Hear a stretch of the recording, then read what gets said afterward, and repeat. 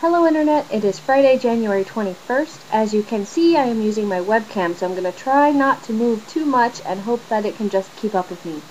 Uh, it's 6.30 in the evening, so I'm really pushing my deadline, and I decided that instead of going in and grabbing the other camera and going through the whole editing and rendering process, I would just use the webcam, even though it is not the greatest piece of equipment ever but it gets the job done when you're on a tight deadline and you need to make a video. So, yay, webcam! Today has been really, really busy. I went into downtown with Will. We came home. I've been doing work. I did laundry and all that.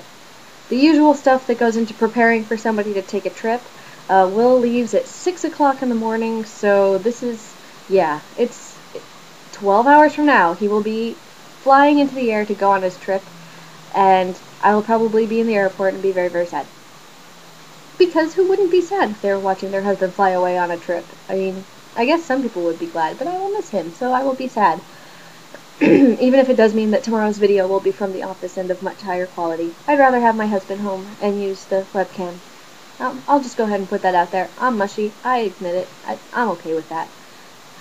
So anyway, Internet, thank you for watching. I still have a bunch of work to do before I go and take a nap. Uh, we have to get up at 3 o'clock in the morning to make sure that he gets to the airport on time because we're taking the MAX train. So hopefully we'll have a safe walk to the max train because I don't know, it makes me nervous going out that late at night in my neighborhood. I don't know why. I live in a pretty good neighborhood, but the idea of walking around at 3 o'clock in the morning is a little scary making. so you guys have a really good rest of your night. Sorry for the throat clearing. I had pizza and the cheese, and you know how it goes.